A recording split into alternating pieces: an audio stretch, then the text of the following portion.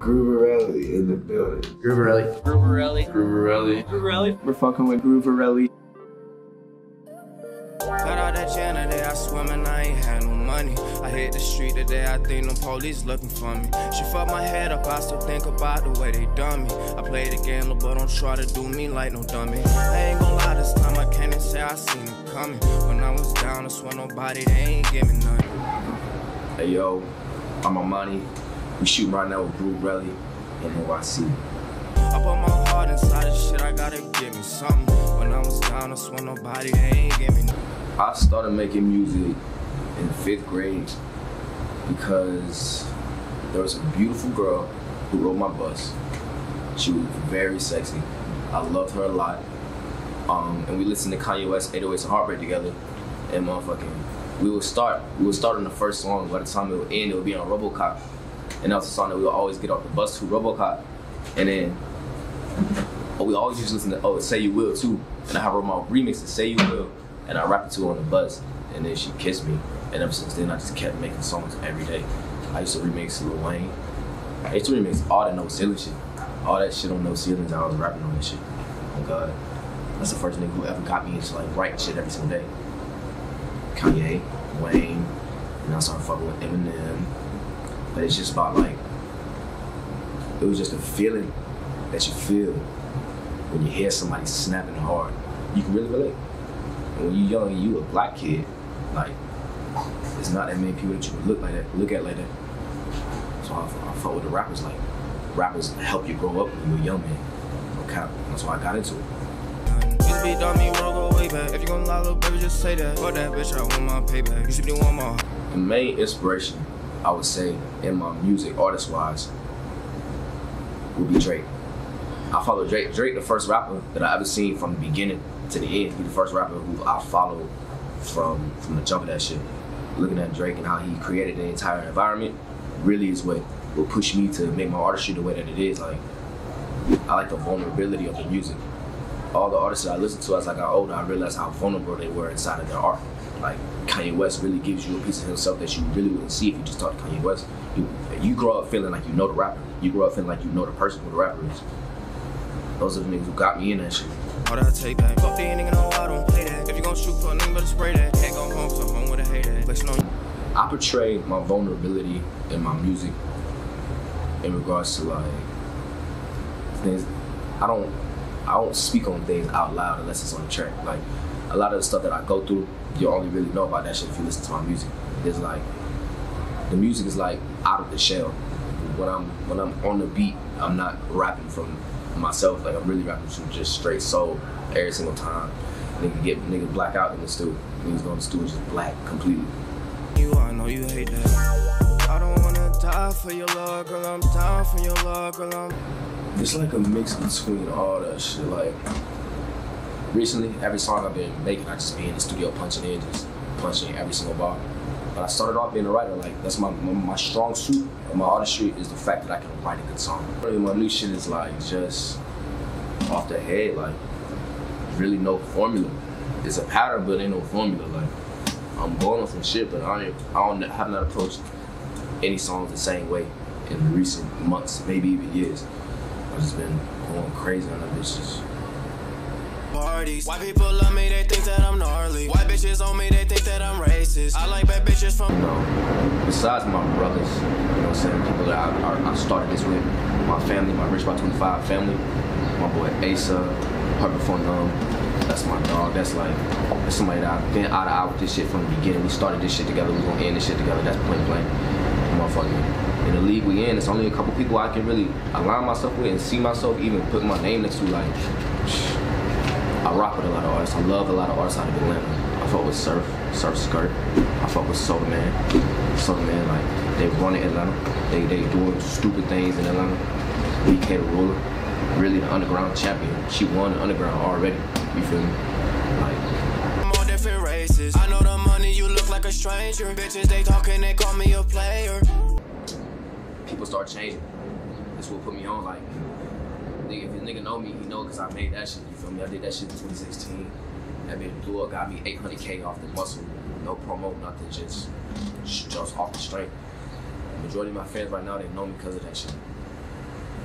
But I got bangers, so I got some shit in the cut. I got too much music in the cut. So much in the cut. So much.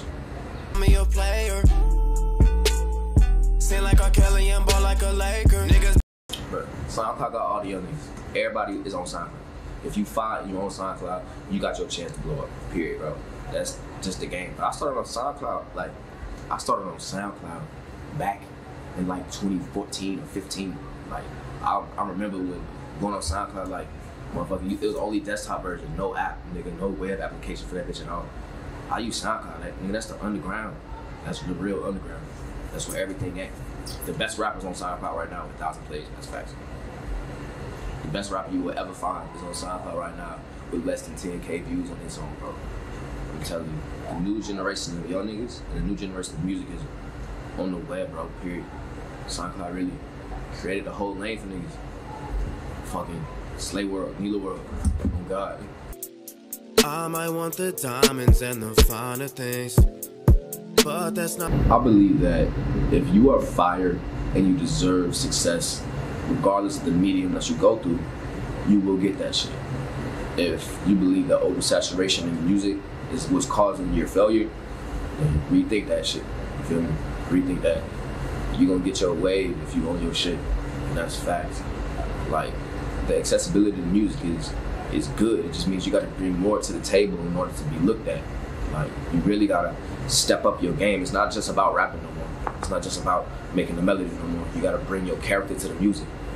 99% of the rappers that are up right now are characters. They're they're they're costumes and shit, bro. If you ain't like that, you ain't, you ain't on that. But still, there's, there's a way. There's a way that this shit go now. not the only thing inside of me. I got such big dreams on who I'm supposed I've been in New York for like probably like a week. Really, I just been vibing, like making little networks. You know I'm saying I've been fucking with my boy Glenn Brown, I fuck with my nigga Glenn. Really just um enjoying these protests and whatnot too. I haven't been able to step out to one, but I've been knowing the locations of everything. I like to come to New York City because of the history of the boroughs and the history of the, the art scene that's out here. It's like I see it as every single person that I look up to came to New York before they had a break. And I look up to my motherfucking self at the same time, so I'm in New York right now for catch mine. I'm gonna get mine. I'm sorry, vibing on New York is like a million people. I meet 20 people a day every day. And everybody got something going on that's hard, like something going on that's fire. I like I came to New York specifically just so I can just have a little escape and just tap my mind back into the to the rhythm of what this shit going like. Cause I was in the cut for a little minute. I was in the cut on the music shit for a while. That I'm just marinating and cooking a lot of shit up making a lot of different networks. But um, rest of 2020, bro, it's it's gas, all gas. I'm just giving gas the whole fucking way. supposed to be. I just can't look back and say they chose for me. When I first started making music, I didn't even do drugs. I didn't even smoke weed. I didn't do no acid, no shrooms, none of that shit. I barely even drunk. Like at this point, the drugs and the music, like I wouldn't even say the drugs play a deep, like a heavy role in my shit. Like I don't even be fucking up myself up on drugs. Like I just smoke weed and like do shrooms and shit. Like really, I'm an all natural nigga. Like I like to just be fucking. I like to trip, nothing, nothing crazy. Like I'll do everything that my name was meant to. Getting money, making. motherfucking first psychedelic I ever did was motherfucking acid. I took two tabs at one time. I was on the river on a motherfucking boat, high as fuck off that shit, looking in the water, thinking I was gonna see some wild ass shit, but I didn't see fucking anything. Turns out the fucking first two tabs I took was fucking research chemicals, and I was just in my brain going insane for like fucking three hours, bro. I was in that bitch losing that shit. But then after I got fucked up off the acid, I was doing that shit every single day for weeks though, bro. I was fucking myself up on that shit. I'm not gonna cap. First time I found acid, I was like doing that shit every day. One, two, three, four, five, six, seven days in a row, nine days in a row. I was with some people who went crazy though. I was with some people who lost their fucking mind with that shit. Still not the same to this day, but I remain, look, I remained in it. The acid couldn't fuck my mind up.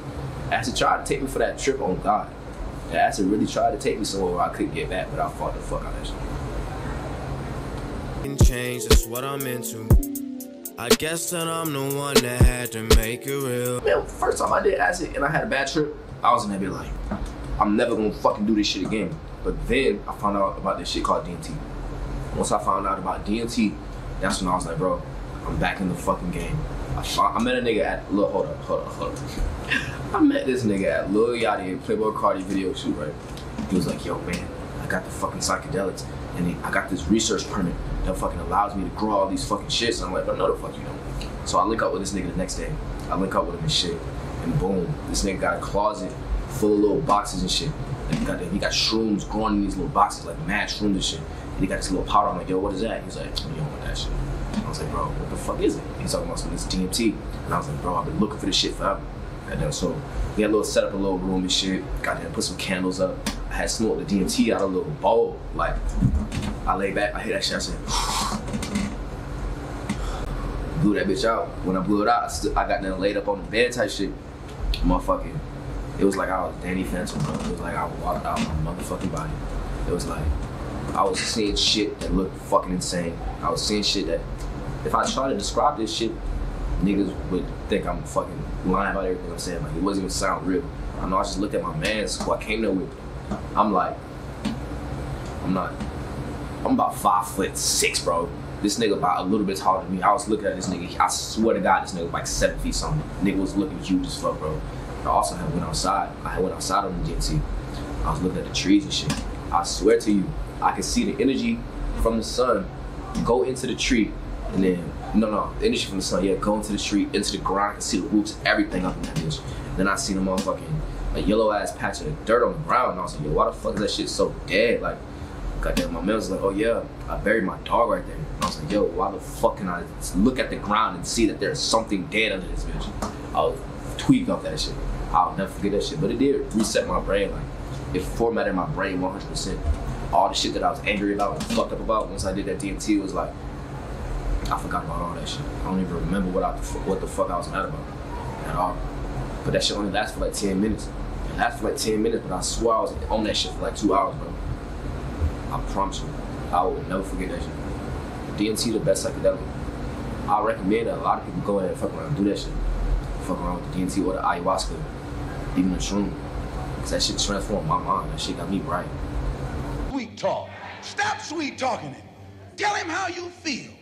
Tell him how what kind. If I could smoke a blow with any motherfucking body, it'll be my nigga Malcolm. I'll put my yeah, my nigga Malcolm X. Yeah, I'm like that. I'm on my bullshit, 100% Black Power shit. On God. I wasn't supposed to be here and I made it still. Never hold me down. My musician name came from my beautiful and amazing mother. She named me R'mani, and I kept it, and I will always keep it. I will go by this. I will never give myself another idea. Mother, I love you. You're the greatest thing that ever happened to me. You're a beautiful and strong woman. You made me to the man I am today. I'll always respect you. I wanna pull up in Rarries and Ranges. Niggas be talking, but I never say shit. Talking that cash. I don't know. No, you was listening to that. Oh yeah, that Bobby Shmurda. Oh, when he said, uh, Feel like I'm Tom Cruise. But bitch, I'm Bobby with that too. Oh, that shit be so right. Motherfucker, yeah, that computers got that Roddy Rebel, got that Bobby Shmurda. I'm in New York City, so you know I gotta play all that shit. But really, really, I wanted to play that Pop Smoke. I'm try- I've been trying to play that Pop Smoke, bro. I want that new album to drop so fucking bad. They say he got the song there with Youngboy. I'm finna bump that bitch every day. I listen to that shit all day. Pop Smoke and Youngboy gonna be the hardest song to ever drop in the street. Ever. Oh God. I used to call you family and you barely know me now. I can see the Hey, look, if you know me, bro, and I know y'all motherfuckers gonna be watching this shit. If you know me for real, bro, and you really lurking on my page trying to check out what the fuck I'm doing, just know, bro, I'ma slap the fuck out you, and you know exactly what I'm talking about. You know, when you watch this, you're gonna be you gonna be passing the little phone to your man's like, yeah, bro, he owned us. I'ma slap the shit out you, bro, and you know exactly who the fuck I'm talking about. I promise you, when I catch you, bro, I'm gonna do you the worst way. You know what your name is. Don't don't even don't even try to hit me later like, am I talking about you? Cause you know, you know exactly what's going on. You thought that shit was sweet. I promise you, you hurt. You xed out. You getting a fucking boot. I promise you that shit. difference in what makes us happy. First I had a dream and then I made it. people might not know like I might look short in interviews and shit, but I'm really six foot six. A lot of people, a lot of people might not really understand what I mean by that, but yeah, I'm standing tall. Um, people might not also know this, motherfucking. If you if you understand Motown and you from Detroit, you know about Detroit, you know my old Motown. Martha Reeves and the Vandellas. Martha Reeves, I'm a direct descendant. Yes, sir. That's my family member. When I go to the family reunion, I see Martha Reeves. I'm living like that. Um, I guess it's just in my blood all the way. happened. I came through the struggle, I came out the mud. If it was the purge, the first fucking crime I'd do. Alright, look, when I was in Atlanta, bro, during the riot, this motherfucking police had grabbed my motherfucking head and pulled my dread out my motherfucking head, bro. He took my shit out. And you ain't get away with it, bro. it's not over with. When I find you, bro, I'm gonna give it to you. I'm gonna show you some shit you've never seen before. And you thought you was tough. When you was about six foot something, you grabbed my motherfucking ponytail like you was finna do something to me. But if them niggas ain't come over here and free me and unarrest me, you might have tried to hurt me, bro. And I feel like if I ever see you, I'm gonna know it's you. I will. And I'm gonna get you down bad. I'm gonna put you in a place. Hey, violence against police is violence. It's the right thing to do. Keep going. Then I made myself a remake who I was. And that's the reason why these So, if I on island forever, I'll bring um, a beautiful, sexy queen with the white toes. Um, I'll bring fucking, fucking, I don't fucking know, bro. A fucking island. I've never even been on a fucking island. And if I was stuck on that bitch, I would literally just bring shit to get me off the island. Nigga, I just bring a fucking boat so I can go home. And then I'll bring a fucking some food so I can have something to eat when I'm on the fucking boat going home. And I'll only bring the girlfriend so I can have sex with her while I'm on the boat going home. Truly. Fuck that island. I'm not getting stuck on that bitch. niggas fear me. Yeah, I got the vision, I just see it clearly. I'm a pizza nigga. I eat pizza every fucking day. And I will never stop that shit. Pizza's the food that I eat. I do this shit every day. Cheese pizza. Actually, I was finna, I was finna go crazy. Yeah, I fuck with the cheese pizza. I fuck with cheese pizza. I can't, I fuck with the pepperoni, but I don't do the swan no more. I'm trying to leave myself up there. I'm really trying to get right. I'm trying to get better. I don't do the sausage yet. I mean, I will, but I'm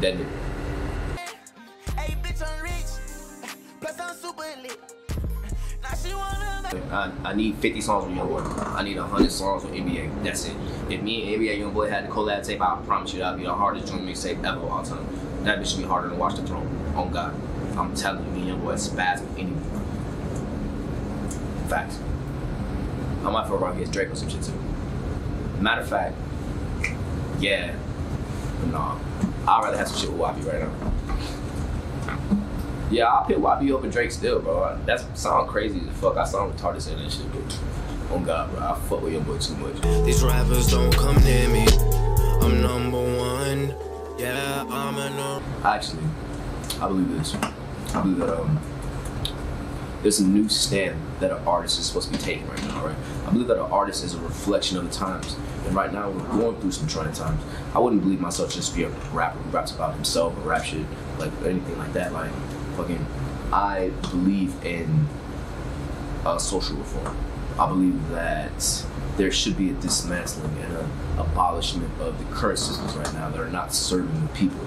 I believe that if I even had a large amount of money, or like when I get to where I want to get, I know that I'm, I would just like to start the fire that changes this shit, whatever the fuck's going on.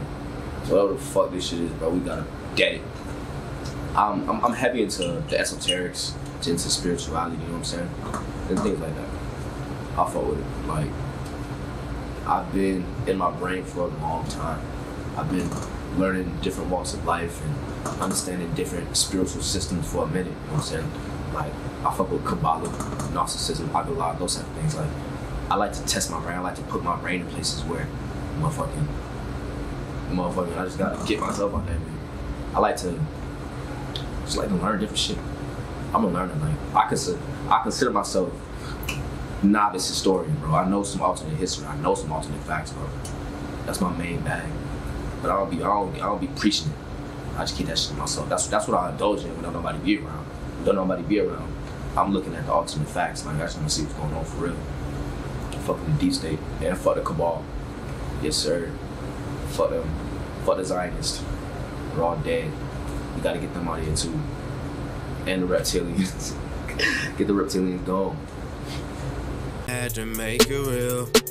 I wasn't supposed to be here and I made it still. The first day of protest in Atlanta was the fucking craziest day of protest. I mean, of any, I swear to you, any state, bro, that shit had to be the craziest shit, bro. Me and my mans was like front line of that shit. We were front line, like seeing the police right there with the motherfucking, uh, with the riot gear, with the little guns, with the tear gas and shit, shooting niggas with the rubber bullets and all that shit. Motherfucking, bro, goddamn.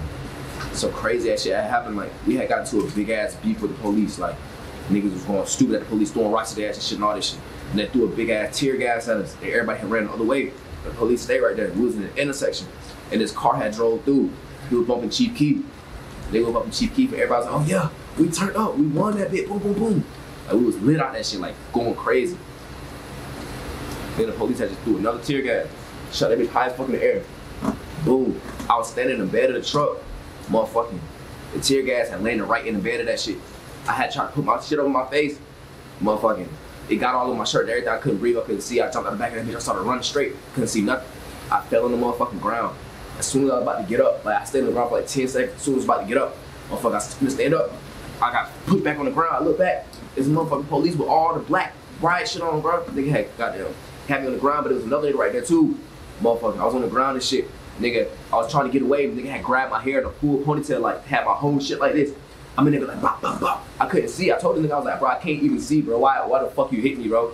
And then motherfucking this black lady, this black woman came over there and uh she was pouring some water in my eyes. She was like, stop hitting them, you can't see all this shit. Goddamn, and then by this time it was three police and they was telling the lady get off me and everything.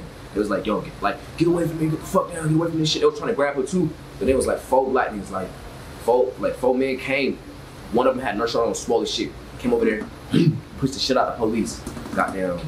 And then once he pushed that one police, all they had was the shields and shit. They even had the little guns. And a lot of the police was in the other direction trying to get the niggas who's already running away. So motherfucking, we had got away. We ran away. Except one nigga he had went back to jail. Like he got locked up trying to save me, bro. But the black woman had got his name. His name was Rocky. We had got him out of jail. But I was running up the street, bro. No shirt. Lost my phone. Lost my wallet. Fucking fucked up. Dread. Lift. Missing out my motherfucking head. I seen this shit on the ground. I was standing up. I was running that shit like, damn, they got me fucked up. And I had lost everybody I came with, like hundreds of people in the streets. Probably thousands of people in the streets, but I ain't see nobody I came with. I was running up the street. I stopped walking for one second. I looked up. I look up, and this motherfucking, I see Brent Faiyaz. Like I'm see, I just look up and I see this nigga. I'm like, bro, is this, this is nigga Brent. Nigga face mad symmetrical type shit, right? Motherfucker, I look at this nigga. I say, bro, let me use your phone right quick, goddamn. Police just fuck me up. Let me see that shit. And then motherfucking, he said, I was saying let's bet. Goddamn, gave me that bit. I had called my shorty. I was like, yo, come pick me up, bro. I'm getting fucked up right now. Like, I'm getting fucked up. And she was, blah, blah, blah, blah, blah, blah. I told her to come give me, school me, all this shit. I had walked away from Brent. Motherfucking, like five seconds later, he was like, yo, come back. Goddamn, and my shorty's on the phone again. She's like, oh yeah, we're on the way, blah, blah, blah. And then the police came down the same road we was at. And then I just seen this nigga Brent mm. going this way. Everybody was going that way. Like everybody just started running down that shit. Nigga had the brazen and all like. And then we was in this building called Witch Witch. They was looting that shit and went in the bathroom. That's what the Bleezy out there do. I seen Brent Faiyaz and that shit. It was fire. It was fire. And I took the selfie with bro. I took the selfie because I know the hoes wouldn't believe me. The hoes was not gonna believe me. Then I had got to back to the apartment after walking for hours and hours and hours, bro. I was walking for like three hours. And then goddamn, I got back to where I was at, and I was like, I told these girls I was with, my short, my friend Destiny. I was like, shit, I just seen Brent. First thing this girl gonna say is, if I seen him, I would have sucked his dick. The first thing, she ain't say, R'mani, are you okay? Are you alright? What's all this shit? First thing Shorty said is, if I would have seen Brent Faiyaz in the Black Lives Matter protest, I would suck his dick. End of story. Shout out Brent Fire. Shout out Brent. Original. Please don't waste your time. These guys are so unoriginal. I Justice for Breonna Taylor. Fucking. Matter of fact, how about this? Ain't even no justice, no peace, bro. It's either get them niggas or I'm gonna get them my motherfucking self. Alright, yeah, arrest all three of them niggas.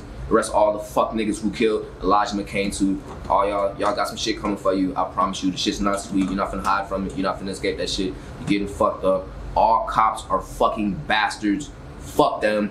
Dismantle white fucking supremacy. Abolish prisons. Abolish exile. Fuck all of that shit. Everybody go tap in to Angela Davis. Learn yourself something. Teach yourself some shit. If you're a black man, study Marcus Garvey, Huey P. Newton, Fred Hampton. Learn your fucking self. There's more than Malcolm and Martin. Get back to the motherfucking roots.